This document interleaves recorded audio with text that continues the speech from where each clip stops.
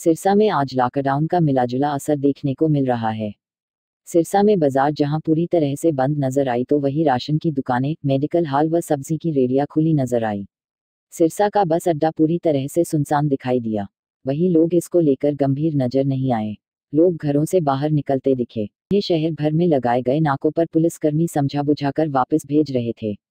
एक और जहाँ देश और राज्य की सरकारें इस गंभीर स्थिति से निपटने को लगी है तो वहीं आमजन इस पर गंभीर नज़र नहीं आता।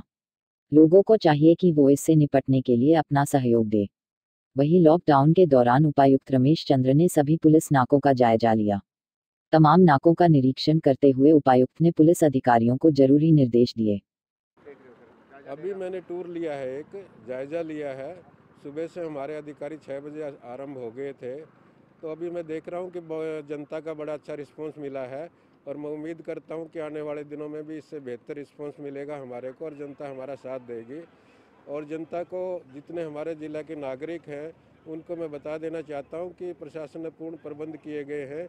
उनको किसी तरह की राशन की या सब्जियों की या दूध की किसी तरह की दिक्कत नहीं आने दी जाएगी, ना ही दवाइयों की दिक्कत आएगी। कृपा करके अपने घरों में ही रहे इकतीस तारीख तक। और यदि आप ऐसा करेंगे तो मुझे पूर्ण उम्मीद है कि हम कोरोना वायरस की जो बीमारी है, इसके पर पूर्ण काबू पा लेंगे। सब्जियों की, जैसे रेडियाँ आपने गलियों में भेजने के निर्देश दिए थे, अभी भी कैसे सड़कों पे है? तो आपने उनको निर्देश दिए। हाँ हमने सभी गलियों के अंदर कॉलोनियों के अंदर एक एक रेडी मुकर की है और वो घर के अंदर से एक व्यक्ति आएगा जिसको आवश्यकता की ले लेगा वो अगले घर के ऊपर जाएगा।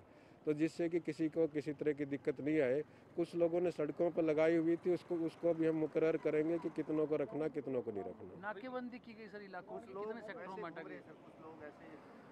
बहुत बड़ा मिनिमल मूवमेंट है और जो मूवमेंट है उसको भी रोका जा रहा है।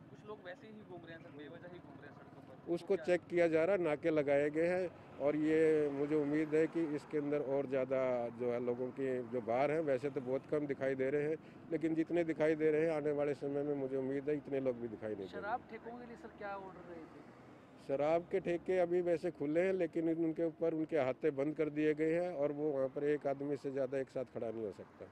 किस तरह के निर्देश हम जो है एक डॉक्टर्स की लिस्ट भी जारी करने जा रहे हैं शाम तक जिसके अंदर सभी जो है घर से टेलीफोन के ऊपर अपना मशवरा उस पर प्राप्त कर सकेंगे और उनके मशवरे अनुसार जो है वो जो है अपनी मेडिकल हेल्प प्राप्त कर सकेंगे।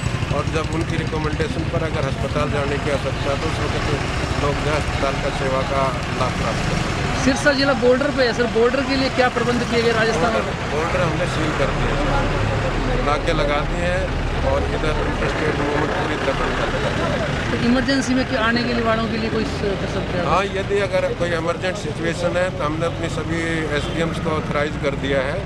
वो एस से पास प्राप्त कर सकते हैं।